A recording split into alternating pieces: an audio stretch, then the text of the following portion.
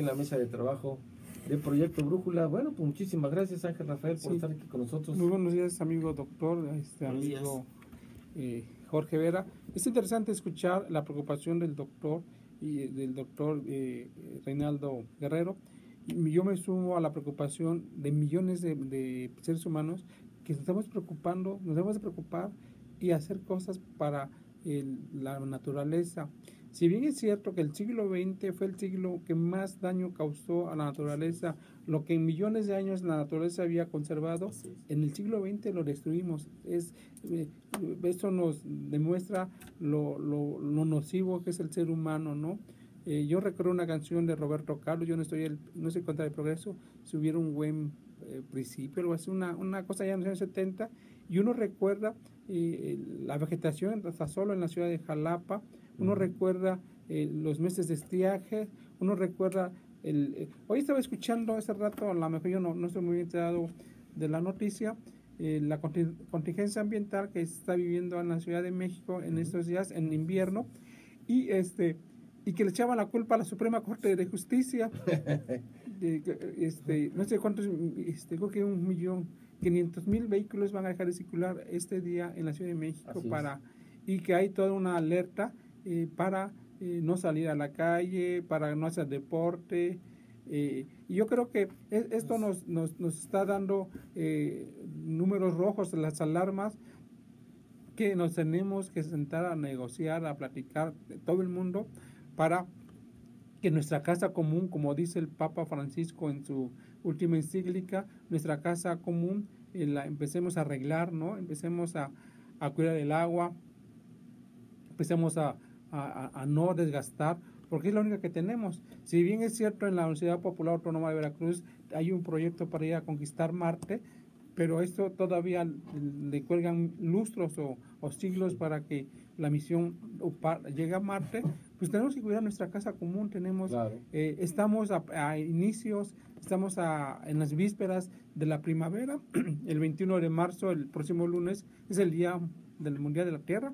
Eh, a 19, el día de San José, peor tantito, San José. Es un patrón muy celoso, como él tuvo la custodia del niño Jesús, entonces es, un, entonces con más razón eh, necesitamos cuidar más nuestra, nuestra tierra, eh, eh, decir, eso es lo que, lo que tenemos, podemos producir naves nucleares, pero, pero no podemos producir aire, no producimos agua, no por, podemos producir todo menos esto que es un don, que es un regalo de la naturaleza eh, y que es un misterio, ¿no?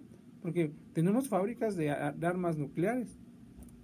¿Por qué no hay una fábrica que, nos, que pueda producir eh, eh, agua, agua, Una fábrica que pueda producir aire, ¿no? Que nos ven. Que... Hay fábricas para producir niños. Sí, sí, pero también se requiere aire y agua, ¿no? Así es. Entonces yo creo que necesitamos eh, repensar y desde, desde no tirar una basura en la calle, pues, desde no tirar una bolsita, desde eh, ahora tenemos tantos eh, materiales para no contaminar las mujeres que desechan el aerosol, toda la sosa cáustica de los jabones, ahora hay jabones naturales, o como decía un amigo en humanidades, no bañarse para no para, para no seguir contaminando. Pero es la casa común que nos toca, nos toca vivir y que eh, la afectación va a ser para todos, ¿no? la afectación es para todos. Aquí el doctor nos podrá eh, decir, él ya tiene una campaña interesante, es su bandera, esta casa común.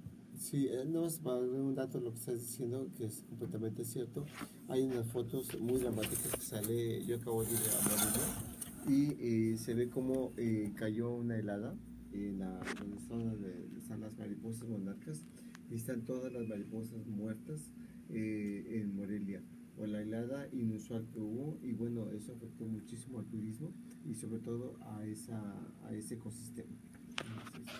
Es interesante lo que dice porque ¿cuántos millones de años tienen estas mariposas monarcas viniendo cada invierno, eh, migrando, que es un espectáculo para Michoacán es, es, el, es un eh, monasterio, ¿cómo dicen? Monasterio. Monasterio. Eh, la, mariposa monarca, y que ahora, que ahora con el cambio climático está en riesgo. Estamos riesgosos todos. Yo creo que, eh, y bueno, también se cumplen 30 años en abril del accidente de Chernobyl, Ah, que también ha, de- dato. ha dejado ha dejado grandes secuelas en, en Europa Central, sobre todo en Ucrania y, y parte de Rusia.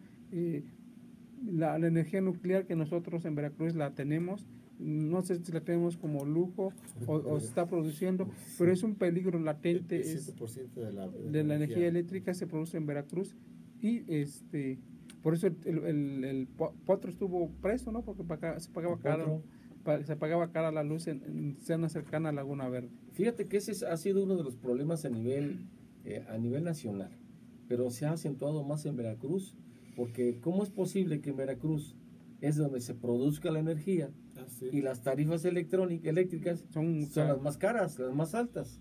Mucha Sí. gente se pregunta, bueno, ¿cómo es posible eso?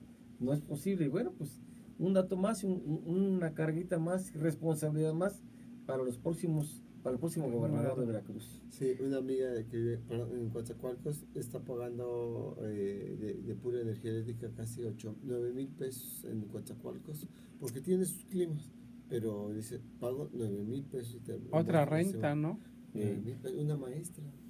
y bueno es de los los mexicaneros cada prim- eh, eh, 21 de marzo hay un culto a la madre tierra, ¿no? Se visten de blanco y se van a llenar de energía y le, y le rinden un homenaje a la tierra, ¿no?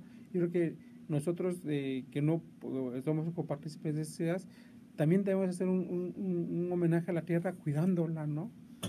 Conservándola Responsablemente. responsablemente, porque la única que tenemos, es la que nuestra casa común, Y hay que cuidarla. Si no la cuidamos nosotros, ¿quién? sí, Pues sí. No creo que vengan los marcianos a, a hacer- bailar, a- ¿no?